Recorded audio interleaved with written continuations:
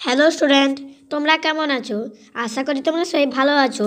তোমাদের জন্য আমার এই ক্লাসটি হলো এডিটে টেস্ট পেপার ফিজিক্যাল সায়েন্সের আজকে আমার এই ক্লাসে থাকছে আয়নীয় সমযোজী বন্ধনের বীর দাগে প্রতি যা প্রতিটি প্রশ্নের মান হচ্ছে তিনের, সমস্ত প্রশ্নের উত্তর।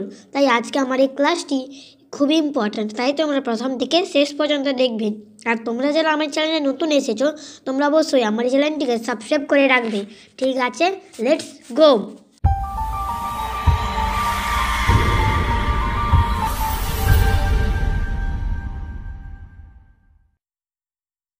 এখানে বলেছে ABTA test paper physical science আয়নীয় ও সমাজজীব বন্ধন।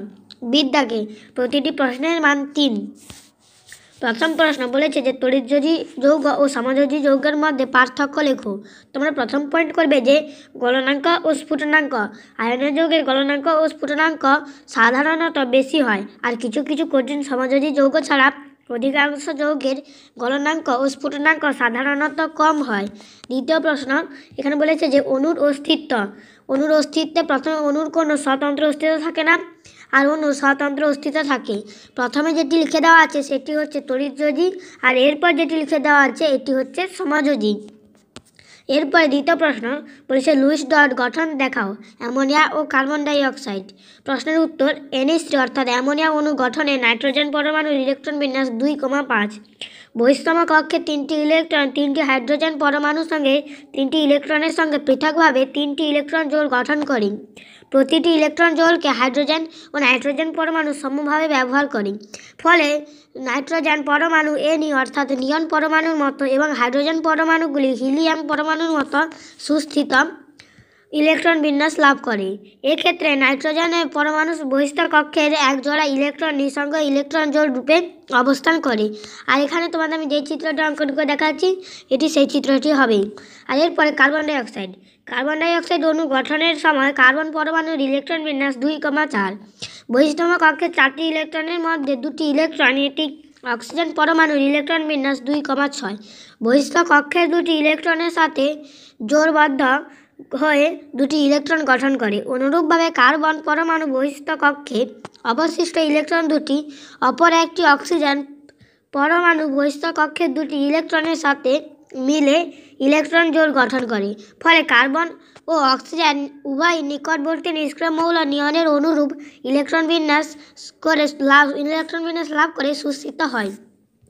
কার্বন ও প্রতিটি অক্সিজেন অ্যান্ড কার্বন পরমাণুর মধ্যে সমযোজী বন্ধন গঠিত হয়, যার ফলে কার্বন ডাই অক্সাইড অণুর গঠন হয়। আর ওখানে তোমাদের যেই চিত্রটি অঙ্কন করে দেওয়া আছে এই চিত্রটি হবে। এরপরে তোমাদের তৃতীয় প্রশ্ন, একটি সমাযোজী এক বন্ধন, দ্বিবন্ধন ও ত্রিবন্ধন যুক্ত যুক্ত যৌগের গঠন দেখাও। এক বন্ধন হচ্ছে মিথাইন দ্বিবন্ধন হচ্ছে ইথিলিন, আর ত্রিবন্ধন হচ্ছে অ্যাসিটিলিন। চতুর্থ প্রশ্ন, অক্সিজেন ও মাইনাস আর ও টু মাইনাস এর মধ্যে কোনটি বেশি স্থায়ী এবং কেন? এখানে তোমাদের কোনটি বেশি স্থায়ী পরে লেখা আছে। আগে বলা আছে যে অক্সিজেনের ইলেকট্রন বিন্যাস যে কে কক্ষে দুটি এবং এল কক্ষে ছয়টি, অক্সিজেন পরমাণু তার যোজন কক্ষের ইলেকট্রন গ্রহণ করে ও টু মাইনাস আয়নে পরিণত হয়। ফলে নিকটতম নিষ্ক্রিয় মৌল নিউরনের নিউরন, নিকাশ নিউরনের ন্যায় সুস্থিত ইলেকট্রন বিন্যাস লাভ করতে পারে। কিন্তু ও মাইনাস ক্ষেত্রে সুস্থিত বিন্যাস গঠন হয় না। তাই O O minus O O two minus আয়নের মধ্যে ও টু মাইনাস আয়ন সর্বাপেক্ষা বেশি স্থিতিশীল। এরপর তোমাদের যে প্রশ্নটা বলেছে পাঁচের দাগে, যে নিচের যৌগগুলি সমাযোজী বন্ধন সংখ্যা কত? PCl five C two H two C H Cl three PCl ফাইভের বন্ধন সংখ্যা হচ্ছে পাঁচটি সি টু এইচ টু এর বন্ধন সংখ্যা হচ্ছে ছয়টি সিএইচসিএল থ্রি এর বন্ধন সংখ্যা হচ্ছে চারটি। ষষ্ঠ প্রশ্ন, নিচের যৌগগুলিতে সিএ, সি অর্থাৎ ক্যালসিয়াম, অ্যালুমিনিয়াম ও বিএ এর তড়িৎযোজ্যতা কত? ক্যালসিয়ামের তড়িৎযোজ্যতা হচ্ছে দুই, অ্যালুমিনিয়ামের তড়িৎযোজ্যতা হচ্ছে তিন এবং বি এর তড়িৎযোজ্যতা হচ্ছে দুই। এরপরে ওর সঙ্গে যে প্রশ্নটা বলেছিল যে CaCl two A L Cl three BaCl two, এদের তড়িৎযোজ্যতা কত? সিএসিএল টু এর তড়িৎযোজ্যতা হচ্ছে দুই আর S A L C L three এর তড়িৎ হচ্ছে দুই আর B S C L two এর তড়িৎ হচ্ছে দুই। ছাত্রছাত্রীরা ক্লাসটি শেষ পর্যন্ত দেখার জন্য অসংখ্য ধন্যবাদ। ভালো লাগলে লাইক করবে কমেন্ট করবে শেয়ার করবে এবং তোমরা যারা আমার চ্যানেলে নতুন এসেছ, তোমরা অবশ্যই আমার চ্যানেলটিকে সাবস্ক্রাইব করে রাখবে। আজকের মতো এখানে ক্লাসটিকে শেষ করলাম। দেখা হবে পরের ক্লাসে ততক্ষণ তোমরা সবাই ভালো থাকবে, সুস্থ থাকবে।